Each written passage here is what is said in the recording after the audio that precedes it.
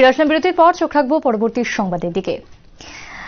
আর পাঁচটা উৎসবের মতো আরেকটি উৎসব হচ্ছে পৌষ সংক্রান্তি এবং সামনে রয়েছে পৌষ সংক্রা- সংক্রান্তি উৎসব এবং পৌষ সংক্রান্তি উৎসব মানে যে জায়গাটার কথা সব থেকে আগে মনে পড়ে সেটা হচ্ছে তীর্থমুখ।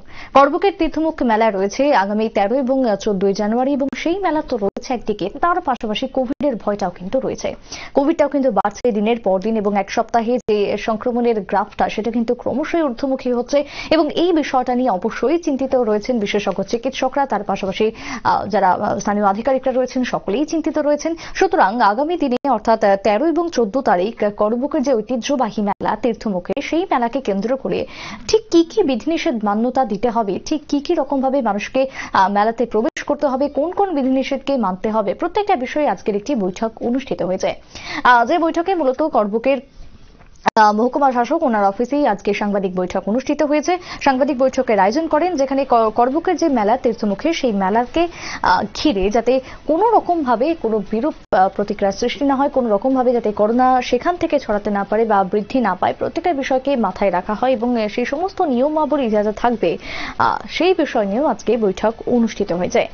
যারা স্টল দিতে আসবেন যারা ব্যবসায়ীরা রয়েছেন ঠিক যেরকম ভাবে তাদের জন্য প্রযোজ্য থাকছে নিয়মাবলী এবং তার পাশাপাশি যারা দূর দূরান্ত থেকে মেলা দেখতে যাবেন, উপভোগ করতে যাবেন তাদের জন্য কিন্তু মানতে হবে একাধিক বিধিনিষেধ। অর্থাৎ না হলে করোনা কিন্তু যে হারে বাড়ছে, যেভাবে ওমিক্রন, সেটাও কিন্তু একটা নতুন চিন্তার কারণ হয়ে দাঁড়াচ্ছে। সবকিছুকে মিলিয়ে পরিস্থিতি যাতে স্বাভাবিক থাকে, পরিস্থিতিকে স্বাভাবিক এবং সুন্দর রাখার জন্যই মেলা কমিটির পক্ষ থেকে এবং তার পাশাপাশি করবুকের মহকুমা শাসকের পক্ষ থেকে একাধিক বিধিনিষেধ আরোপ করা হচ্ছে।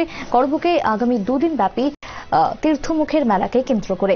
তবে আজকে যে সাংবাদিক বৈঠক মহকুমা শাসকের অফিসে সেখানে আধিকারিকরা কি জানিয়েছেন? আহ, কি বিষয় ঠিক আলোচনা হয়েছে শুনবার রেস্ট্রিকশন আমরা করেছি। সম্পূর্ণ ফুল ফ্লেজেড ভাবে আমরা দিতাম না। ইভেন আমাদের বিভিন্ন এক্সিবিশন স্টল করে আমরা এটা যাতে মেনে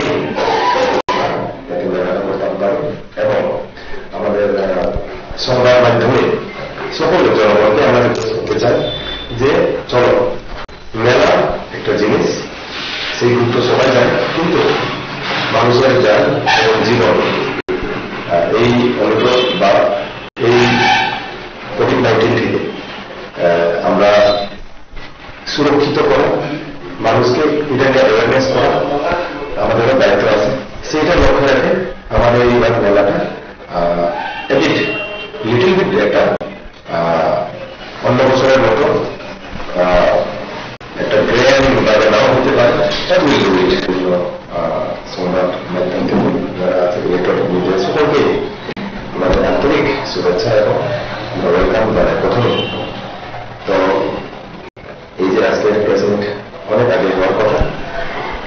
আমরা সময় পাইনি নানা ব্যস্ততার কারণে।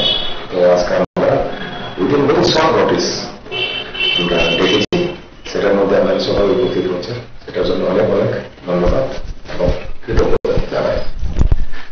আজকের প্রেসিডেন্টের মূল যে বিষয়গুলি আমরা আলোচনা করার জন্য যে সিদ্ধান্ত নিয়েছি, সেটা হচ্ছে আমাদের তীর্থমুখ মেলা বা পৌষ সংক্রান্তি মেলা এটা আমাদের ধার্মিক সামাজিক সব দিক দিয়ে এটা খুবই গুরুত্বপূর্ণ আপনারা সবাই জানেন। কিন্তু সাথে সাথে আমাদের রাজ্যে বা দেশ বিদেশে আপনারা নিউজ দেখেন, খবর আপনারা দেখেন। অমিক্রণে আমাদের আইটি কিছু